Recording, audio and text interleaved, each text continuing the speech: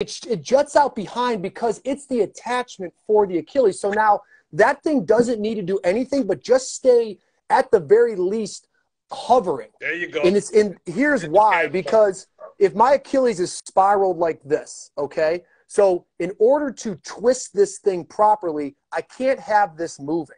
So what's happening is people are loading their foot inner ankle bone low, the heel's being loaded, and now this is happening to the Achilles. It's becoming linear and it's getting pulled on like this. Whereas if you just hold your heel up and it's always hovering and it's still because you're in your inner ankle bone high, now when the shin does its down, back, and out, you create this healthy integrity with the Achilles tendon. And this is the cycle. It's just boom, boom. It's just right. opening and closing, opening and closing. That's and your closing. Achilles tendon. This is inside ankle bone low. Yeah. Heel in the ground. It's the ship. It's the rope that holds the ship. You start ruining the integrity of it. Yeah. And it becomes string cheese. Yeah. And the next thing you know, it just pops. Pops. And it's over with.